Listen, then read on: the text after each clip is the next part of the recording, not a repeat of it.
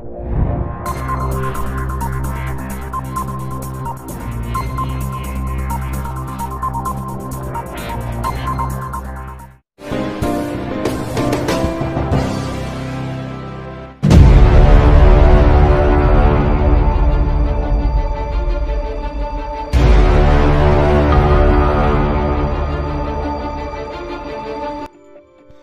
ನಮಸ್ಕಾರ ವೀಕ್ಷಕರೇ, star seventy four ನ್ಯೂಸ್ಗೆ ಸ್ವಾಗತ.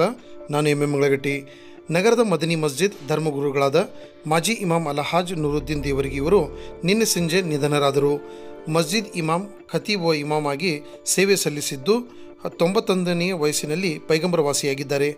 ಮೃತರು ಕಳೆದ ಐವತ್ತಾರು ವರ್ಷದಿಂದ ಇಮಾಮ್ ಆಗಿ ಸೇವೆ ಸಲ್ಲಿಸಿದ್ದರು. ಮೃತರು ಅಪಾರ ಬಂಧು ಬಳಗವನ್ನು ಅಗಲಿದ್ದಾರೆ. ಮೃತರ ಅಂತ್ಯಕ್ರಿಯೆಯು ಇಂದು ಮಧ್ಯಾಹ್ನ ಎರಡು ಮೂವತ್ತಕ್ಕೆ ನಡೆಯಲಿದೆ.